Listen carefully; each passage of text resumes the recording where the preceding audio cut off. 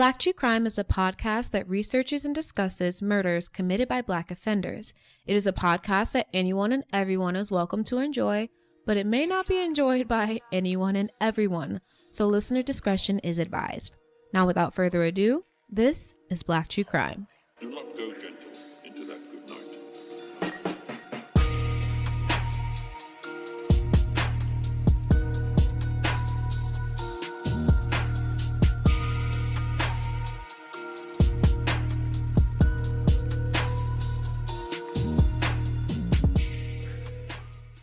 Hello, everyone. Hi guys, what's up?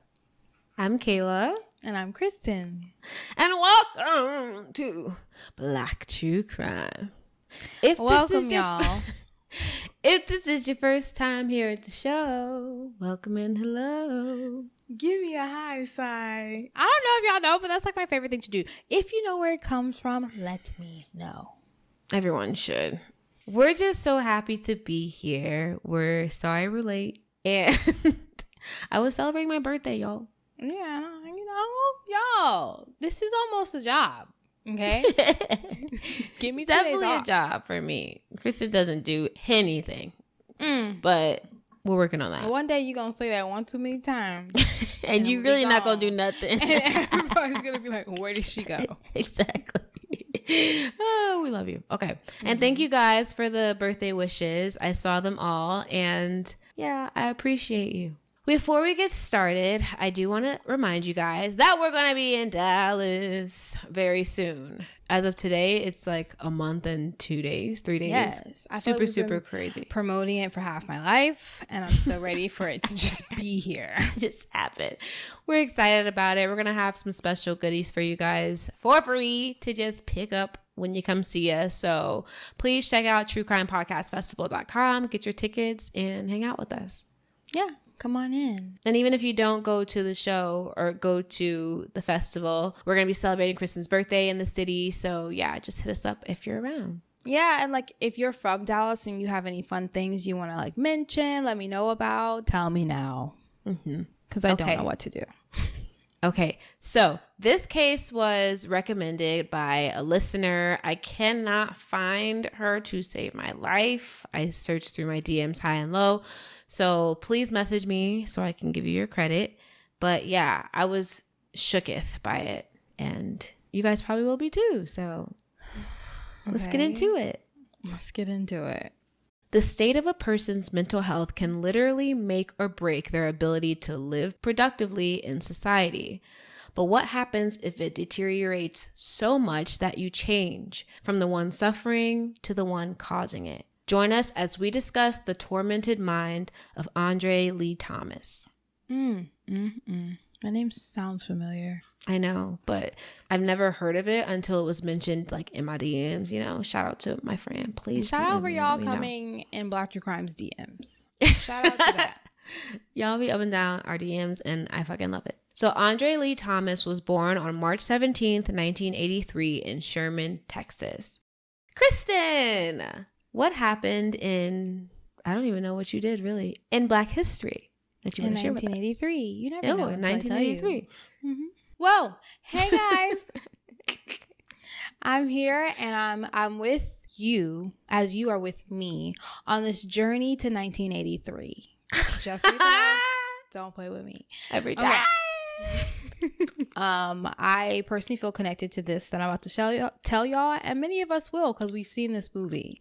So, in 1983, Alice Walker actually won the Pulitzer Prize for writing the book *The Color Purple*. Oh, Ding, shit. ding. And she became the first African American woman to ever win the Pulitzer Prize.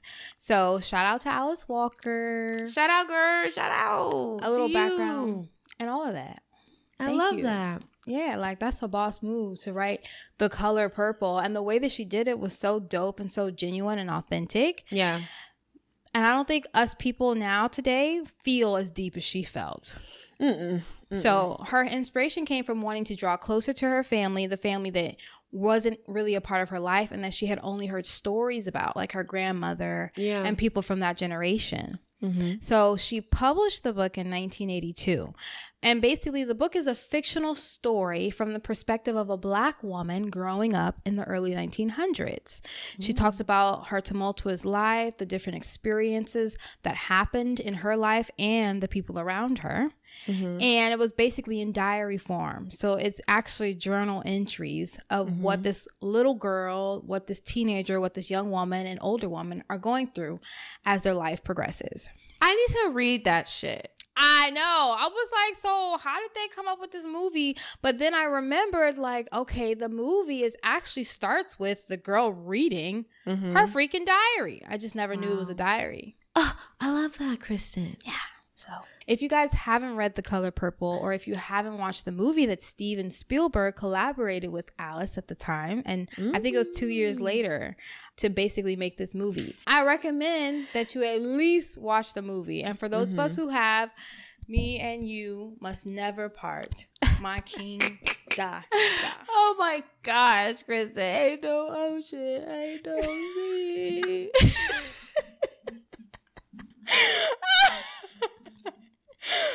Period. Mm. Well, thank you so much, sister, for that trip down history lane. Mm-hmm. So, Andre was born in Sherman, Texas, 1983. He was born to his parents, Danny and Rochelle Thomas, and the couple, along with their six children, lived in a poor part of Sherman. They struggled so much, in fact, that their home often went without electricity. Mm-hmm. This was probably common with a lot of black families back in the day. Yeah. A lot of families in general. Yeah. And to avoid some of the hardships he and his brother were experiencing at home, they would spend a lot of time at the Harmony Baptist Church close by. So they got like really involved into the Lord. Hmm. And by hardships, I mean the fact that they struggled to make ends meet, their father wasn't around much, and their mother had been suffering from some type of mental illness issue. Hmm. So I wasn't able to like find too much about it, but I did see that people close to her said they had to step up and like help her take care of the children because she really couldn't do it by herself. Wow. I wonder what she had. I know that sounds really intense though to not be able to care for your kids. Like that seems like it had to be something mental health related or drugs related, you know? Period. And I, I or both. Mm-hmm. People that knew Andre said that despite having a difficult home, Andre always performed well in school. He was actually known to memorize like entire Bible stories and would be the first one to answer a question during Sunday school. So, Mm, he was a survivor and he plugged himself deep into the church. deep into the church. Good for I him. mean, sometimes you need an anchor, you know, that keeps you fucking from losing it. ah, every day I need an anchor. So I can only imagine, but I'm glad he had the church to turn to in that time for him. Yeah. According to his dad, Andre was a tinkerer or mm-hmm. somebody that always like was taking shit apart and he said Andre had to knew how everything worked. So, in my mm. head I'm like it's giving a little bit of like autism maybe cuz you know autistic children have like incredible memories and they are meticulous about like a certain interest. So, Or it's just giving inspirational, awesome kid that despite what he's going through still has innocence and a desire to learn.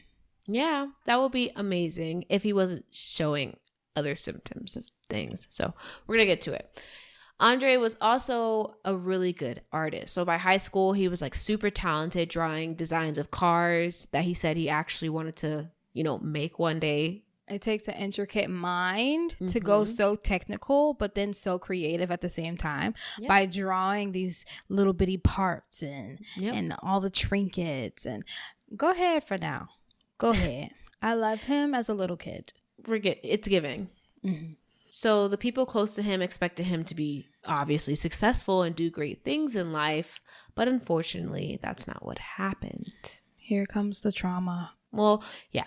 Because first, let's back up a little bit. Remember how I said Andre may have had like autism or been on the spectrum, at least in some form? Mm-hmm. Well, there were early signs that something was going on with Andre's mental health. At the age of 10, Andre was claiming that he was hearing voices, telling himself to kill himself. Oh no. Yeah. And at 10 years old, he actually tried. Okay. He must have been in hell. For a 10 year old to be like, this is too much.